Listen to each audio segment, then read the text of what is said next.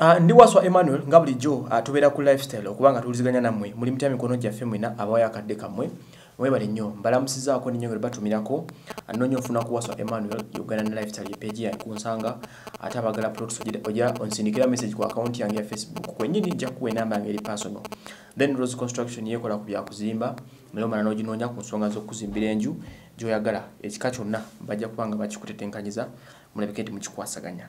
Um, kakati uh, katandikire ku pastor wilson ugembe afuze pastor owokusatu uh, officially avuddeyo nasobola okuba nga yeegatta ku kiwendo ekiyambako bannayuganda abatalina kakulya.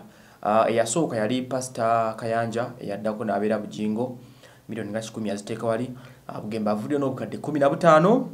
Uh, mu buno abutemeteme bwati. Okusa kugentegedde agabaddeyo uh, pastor wilson bugembe asazeewo uh, ku milioni 15 n'agulako kilo 65 eza obuwunga posho n'agulako kilo 25 eza sukaali n'agulako ne kilo endala 25 ez'omuceere.